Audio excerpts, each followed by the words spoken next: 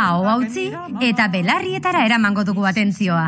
Fernandok foxtrot eder bat abestu behar diguta. Es bailar el foxtrot con un doncel que nos hable de amor. Aunque cien años llegase a vivir, yo no olvidaría las tardes del ring. Txaloak. Eskerrik asko.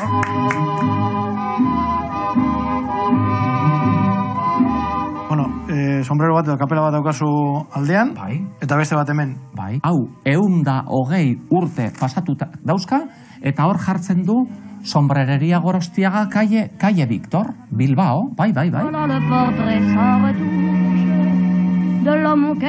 Bilboko denda zaharrenen zerrendan toki berezia du gorostiaga kapela dendak.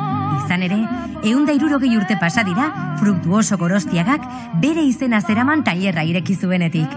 Bere urrezko aroan oski, Fernandoren pasioa den belepoken izan zuen. Orduan kapelatzen osagarri hutsa, maila sozialaren eta elegantziaren erakusgarria baizik. Hogeigarren mendeak aurrera egin zuen enean ordea, kapela gero eta gutxiago erabili zen, baina hala ere, gorostiaka kapela dendak bizirautea lortu zuen, eta gaur egun, familiaren laugarren belaunaldiaren eskutan dago.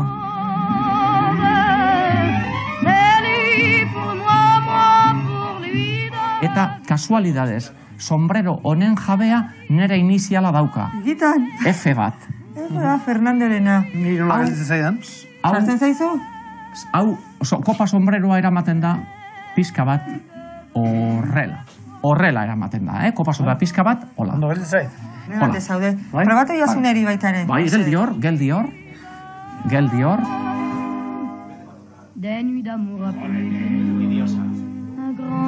Ainoa, ez barrerik egin, eh? Eh? Bai, bai, orantxe etorriko da zure kapelarekin eta nire txanda izango da, eh? Begira, begira, ekarri du.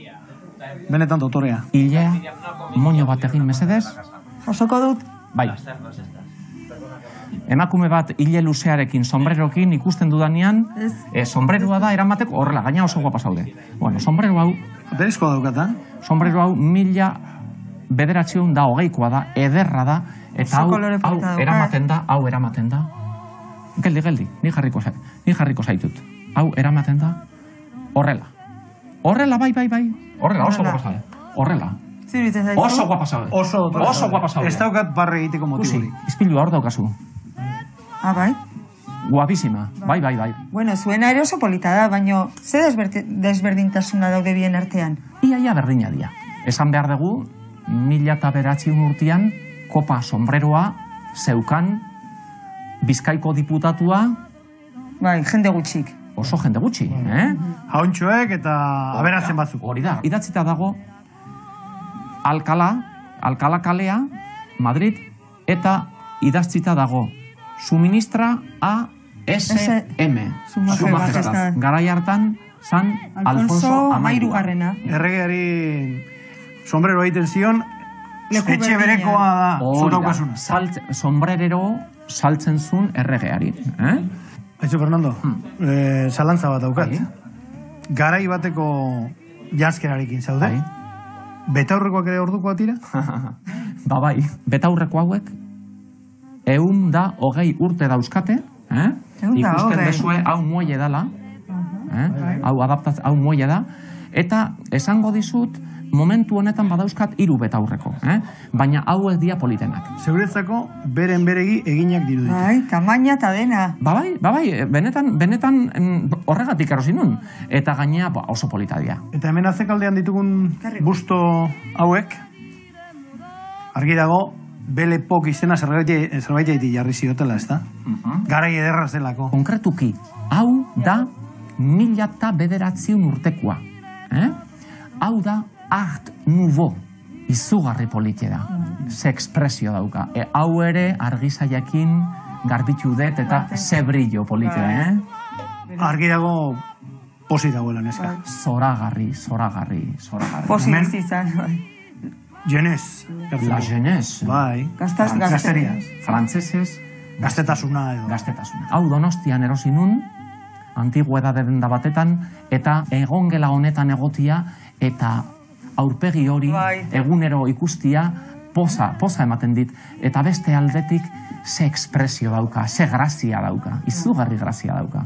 Eta busto honen aldamenean ondoan beste bat eh, dago, Fernando. Emakumea serioago dirudi, ez? Bai, pentsakor dago hor. Meditatzen edo, bere barruan ikusten edo. Busto honek berezitasun bat dauka. Begira. Hauxe da berezitasune. Hau ez dago eginda moldekin, hau eskultura bat da. Eta marmolez eginda dago, eta du, dago, hau dago eskulpituta. Eta honen berezitasune da emakume batek egin zuela. Ba, nere mutila, behin esaten di Fernando, e, hemen atzean zeo zer idatzita dago, ni ez nintzan konturatu. Hasi ginen lupa batekin, eta deskubritu genun ese bat, punto bat, Egile, egilearen firma dagoela. bizard. Eskubritu ba, eskultore emakume bat zala. Eta mm, rekonozimiento pizka bat, eh? ikusten da eskultura ederra dala. Susan Bizart, hogei garren mende hasierako eskultore frantsesa izan zen. Senaman Mogon izeneko herri txikian jaio zen, baina Parisen garatu zuen bere artea. Bere artelanak luzaroan erakutsi zituen garaiko Parisen, eta gaur egun bere eskulturek balio artistiko eta ekonomiko handia dute.